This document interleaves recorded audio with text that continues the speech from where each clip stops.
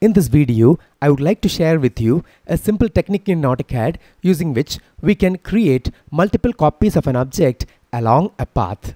The technique is called path arrays.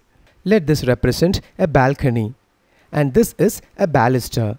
I have created this baluster by making a profile using a polyline then I have revolved that profile about a vertical axis. You can refer my video on revolve command if you don't have any idea about this command. Now I would like to create multiple copies of this baluster along this path which I have created by drawing a polyline profile over here then I have offsetted that polyline through a distance of 5 centimeter. Now I change my representation to realistic. I'll go to path array command. It's available in the home tab. You have various types of arrays. I hope you're already familiar with rectangular and polar arrays and I'll just click on the path array. Now it'll ask you to select the object to be arrayed. I'll select the baluster. Then it'll ask you to select the path curve. This is the path curve.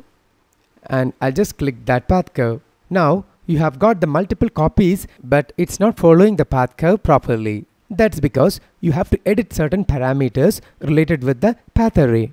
Now let me close this array. Okay, now if you want to edit the array, just click on the array object.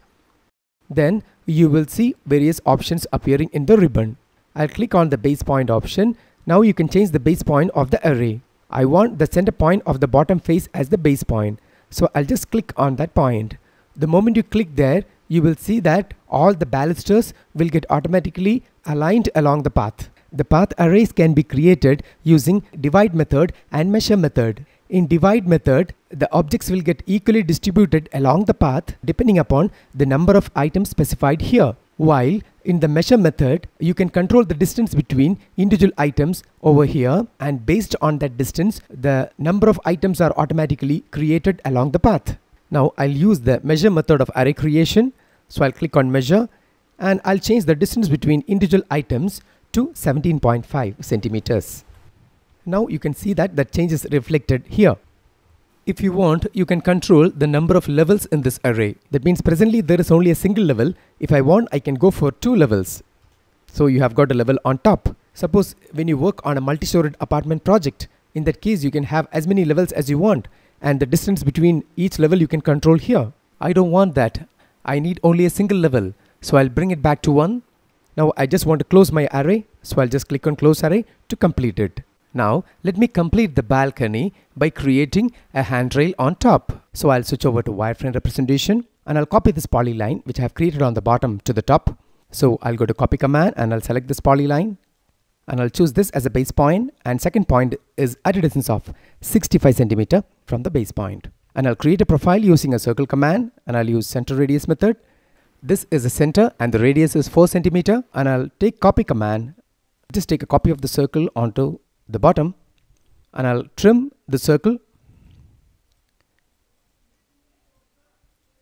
Okay, and I'll join these profiles as a single profile using the join command. I'm going to perform the sweep operation. So I'm going to sweep this profile along this path. So I'll click on sweep. When I'm asked to select the object to sweep, I'll select this profile. They'll give an enter. And when I'm asked to select the sweep path, I'll click on this path. This is how it'll appear. Now let me switch over to realistic representation and I'll orbit the model to see my completed balcony. This model looks like a realistic balcony. Hence, path arrays gives tremendous flexibility in creating multiple copies of an object along a path curve. And this path curve is nothing but a predefined path created by the user. Next, we will see another interesting example of path arrays. This is a 3D model of a residence. I would like to keep a number of plans by the side of this pathway. I have a 3D model of a plan over here. So I'll insert this plan into this file. I'll click on insert tab and I'll select insert and I'll browse that particular drawing. And name of the drawing is plant 1. I'll give open and OK. I'm going to insert it right here. Next I'll create a polyline path along which the array is to be created. So I'll click on polyline and I'll start from here. Then I'll click on a point over here. Then I'll right click and I'll go to arc option. Then I'll right click again and I'll select a second point. I'll pick a point somewhere over here as a second point and this is the end point.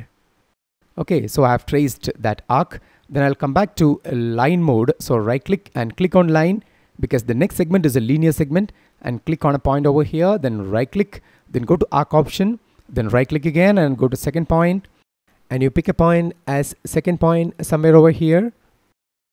Then you select uh, this point as the endpoint. The next segment is linear segment. So right click, go to line and you select this as the endpoint and this as the endpoint to complete the polyline. So we have made the path along which this object is to be arrayed. Next I'll go to the path array command and select the object to be arrayed. Then just give an enter by right clicking. Then it will ask you to select the path curve. Path curve is nothing but the polyline which I have drawn just now. Just give a click to select that polyline. Now you can see that it has made multiple copies but it is all scattered. That's because you haven't specified the base point properly. So I'll just close this array for the time being and I'll click on this array again. Okay. Then you go to base point option just as we have done before and you select this center as the base point. Now you can see that it's properly aligned along the path curve. Next we will click on the array and you can see a grip over here. You can change the distance between individual objects in this path array. For that just click and drag on this grip using the mouse. Now you can see that you have changed the distance manually. Or else you can control the distance by inputting precise values. This is where you do that. So I'll change the value from 125 to 90. Okay, now the distance got changed. Next, I want to resize these items. Suppose you feel that the size of each plant is big, then you can reduce the size of this plant by selecting the array then I click on edit source option then you select an item in the array just give OK next I'll just click on the scale command and you scale this object with this as the base point I'll click this bottom point as the base point when I'm asked to give the scale factor I'll give say uh, 0.7 because I want to reduce the size of each plant by 30% so the moment you change it here you will see the changes getting reflected on all the objects in this array because it's an associative array. All the objects are interconnected. Next, I'll just click on edit array button and click on save changes. This is how you change the size of an individual object to see it getting reflected on rest of the objects. Now I feel like I want to get rid of these three items. I want to remove these three plants because it is just the entrance of the house. When you click on an array object, you can see that all the objects in the array will get selected. But in this context, I want to select only these three plants. So just hold on the control key and make a click. Uh, that particular plan got selected. Then you again control click and control click. Now you can just go to erase tool and erase those three items. So this is how you can individually select objects in an associative array. Now whenever you want to bring those objects back, all you have to do is just select the array and you just click on reset array button and you can get those erased objects back. Now I'll just undo this uh, reason operation I have done. Now I'll restore a saved view. So I'll give view command and I'll select v1. This is a perspective view which was saved beforehand and click on set current button and apply and OK. Now you can see uh, these plans in perspective.